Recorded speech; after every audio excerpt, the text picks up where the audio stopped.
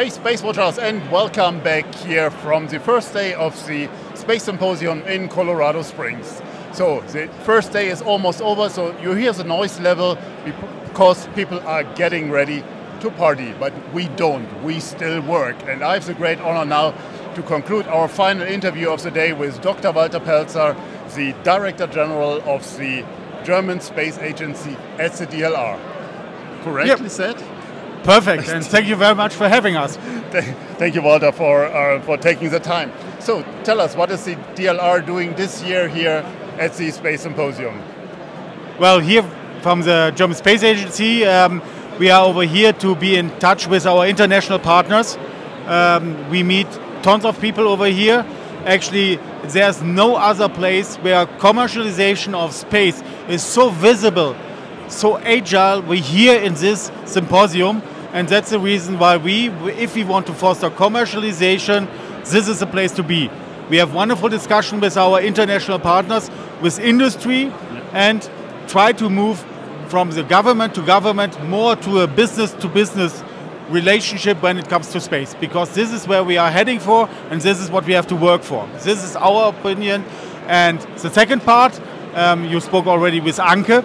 Yeah she probably tell, told you what uh, DLR R&D did over here, and so it's very important for them as well because they can show that DLR R&D is the biggest R&D facility when it comes to space in Europe. So, sounds good. So let's focus back to um, our business or our market in Germany. We had just the the, uh, the budget cuts. Um, so what are the impacts what are the impacts you are feeling you are to work with? Well, my feeling is if there's a budget cut, that's always uh, it's hard. It's always hard, but uh, what we have to do, we have to be more efficient. We have to be, yeah, we have to think how we can do better things better, faster, and at the end more efficient. Meaning that we get the same out of our project with less impact. That we can partner more. Also, these are things we do over here that if we do are not able to do with our resources at hand that we can do them over here, that we have to find partners to put missions into practice. And this works very well because our science base as well as our industry base is very high um, recommended over here so that uh, we can actually pave the way that we come up with a lot of corporations, bilateral, multilateral, and this is the way how it works. Space is a team sport. So made in Germany still has a value here? In space, it has a value over here. That's great to hear. Give us an update on, on Artemis, because we have seen a, a lot of uh, pictures on social media in the last weeks with astronauts in, in the White House and there were German astronauts, no, ESA astronauts holding a German passport, if I'm not mistaken. That's true, absolutely. You phrase it perfect. I couldn't, I couldn't phrase it better. It's uh, German, it's ESA astronauts with German passports uh, showing up together with Minister Habeck and Anna Christmann in Washington. Uh, their tour was very highly uh, recognized and welcomed here in, in the US, and Artemis works well. And also, NASA has some kind of budget cuts, yeah. but Artemis is still priority number one over there. Um, you see it everywhere, everything is running smooth, more or less, um, if we can say so, in, in space. And uh, they are 110% committed to put it into practice. And uh, the European Service Module, with a very, very big footprint um, of Germany, yeah. is still priority number one when it comes to international cooperation of NASA. That was mentioned here a lot of time, and uh, I think Germany and ESA can be very, very proud to be such an important part, an indispensable part of Artemis. Okay. G give us an update on what is the DLR Europe agency focusing at the moment about? What are the, the key priorities you have on your agenda? Well, the key priorities we have on our agenda is uh, when it comes uh, to access to space, our dual track.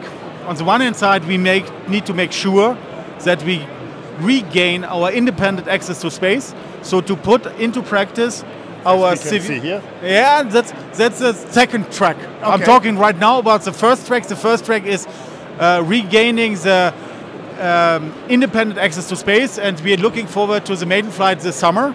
Ariane um, 6 you're talking about. Ariane 6.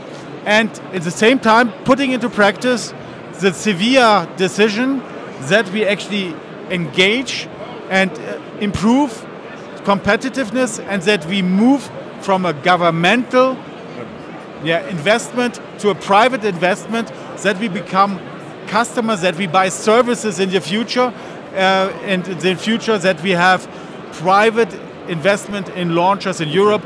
And uh, as you said, over here, the private uh, micro launcher initiative is the first step, but it's only the first step.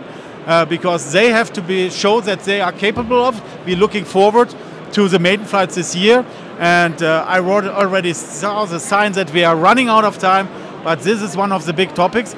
Another topic, of course, is um, Artemis. Yeah, Still okay. Artemis. What we have to do, um, but what we by all the independent access to space, by all Artemis, what we never ever should forget is that we in Germany do space for a better life on Earth. So we have to make sure that uh, Earth observation, for example, these data are available and that they are used for yeah, problem solving here on Earth. And today we had a wonderful example that another nation is using EnMAP data to sort out a big, big issue they have on hand. And it was more or less one of the best moments we had because we did not even know about it because these data are open data and uh, we will save quite a bunch of lives and uh, increase health based on these data. And that was just a perfect moment for us to learn that this mission uh, we came up with is now used worldwide to uh, yeah, sort out issues on the actually on Earth. Great. Dr. Pelzer, thank you very much for your time. There's so much more to talk about, but as we got signed from our uh, yeah. producers, we are running out of time. And I think now it's also a good time here at the DLR booth to have a drink or two. Perfect. Right? I'm Thank with you. you. Thank you very much. My pleasure. Space Watch out for today.